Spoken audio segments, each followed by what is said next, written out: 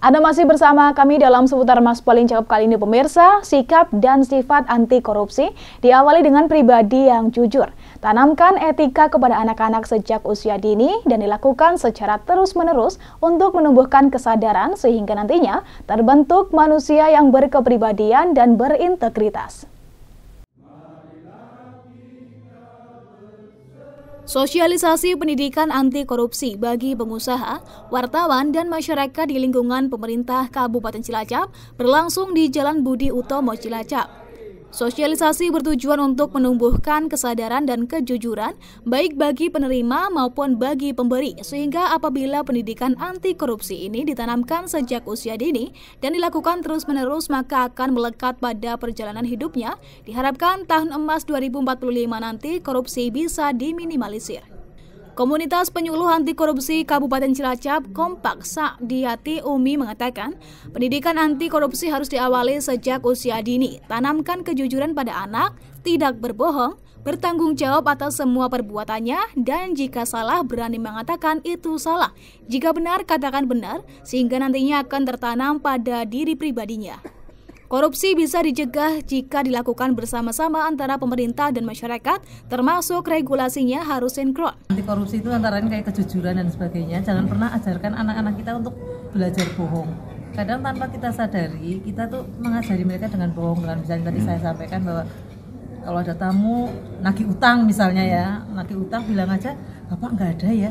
Padahal bapaknya ada. Dan itu akan tercetak dalam pikiran mereka bahwa oh bohong itu boleh.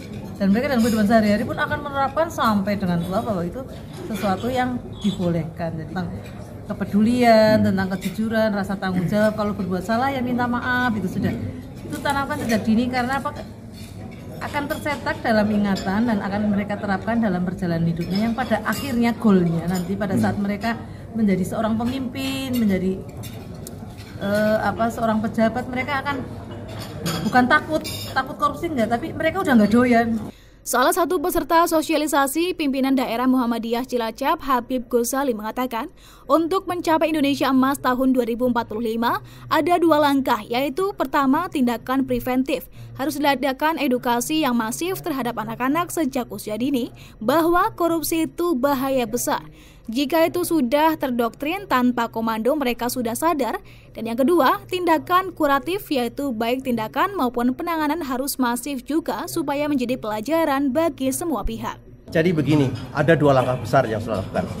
Kalau memang tahun 2045 ini akan menjadi generasi emas, emas harus ada dua, dua langkah yang terlakukan. Pertama adalah tindakan preventif bagaimana sekarang harus diadakan satu edukasi yang masif kepada generasi yang masih kecil-kecil? Siapa pun siapa pun bahwa korupsi adalah merupakan bahaya besar. Kalau itu sudah terdoktrin dalam diri mereka luar biasa. Tanpa komando sudah dengan kesadaran. Itu yang harus lakukan ke depan. Nah, yang kedua adalah langkah eh, kuratif tindakan kuratif. Ya sudah penindakan penanganan harus masif juga supaya menjadi pelajaran bagi semua pihak Negara terbaik anti korupsi saat ini Selandia Baru, sedangkan Indonesia naik peringkat ke-34 dari peringkat 32 sebelumnya atau setara peringkat 110 dari 180 negara. Dari Cilacap, Ramiana, Banyumas TV melaporkan.